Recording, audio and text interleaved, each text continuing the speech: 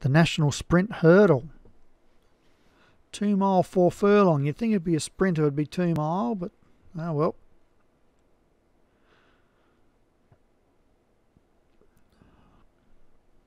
It's a grade two, and the favourite for pre race is Highland Fort for Jim Murray. Then we've got Moore's Memory, Dancing Dad, Painter's Fort, Part of the Plan, Sins to Forgive, Black Benet, Fruits of Your Labour, K. Burley, uh, Lebicuma, Never Murray, Paratus, Rio Naranja, and Supercat for Hollywood Hinton. All the good trainers are in for this Grade 2 race.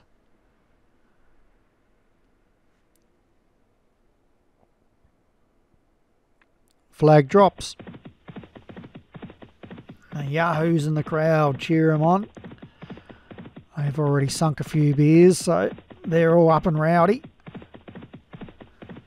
As rowdy as the Liverpool fans were when Brighton and Glenn Murray headed that early goal in on the weekend. Next minute, 82 seconds later, tears from the Liverpool fans. So, Supercat is treating it like a sprint. Over the second of 12. Just that caught for pace there. There's four at the back there. Levicuma, part of the plan, Black Benet and Rio Naranja.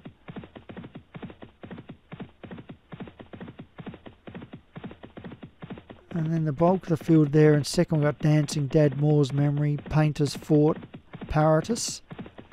Uh, Fruits of Your Labour, Never Murray, Sins to Forgive as they go over that third flight.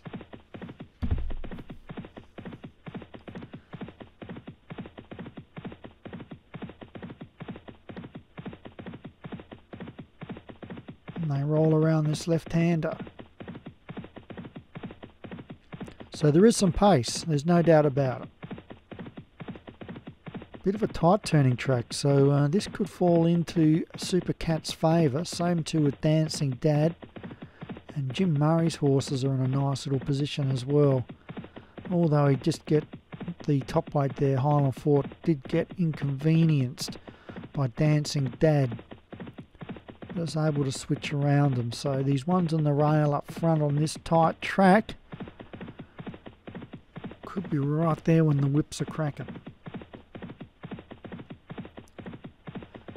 So Supercat leads them from Paratus, Painter's Fort, Moore's Memory, Highland Fort, Dancing Dad, K. Burley, Never Murray's up there, Fruits of Your Labour, Lebicuma, Rio Naranja, Black Benet, part of the plan. Sins to forgive, lap to go. Nine and a half furlong track, 1900 metre circumference.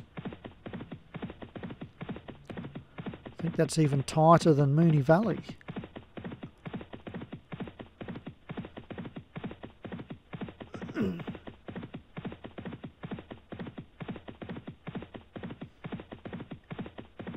Supercat showing him a clean set of heels. It's inside the mile. From Dancing Dad. He'll be tiptoeing at the moment. Tiptoeing in anticipation for a strong finish. Out wider is Paratus, but it's been wide, I think, most of the way.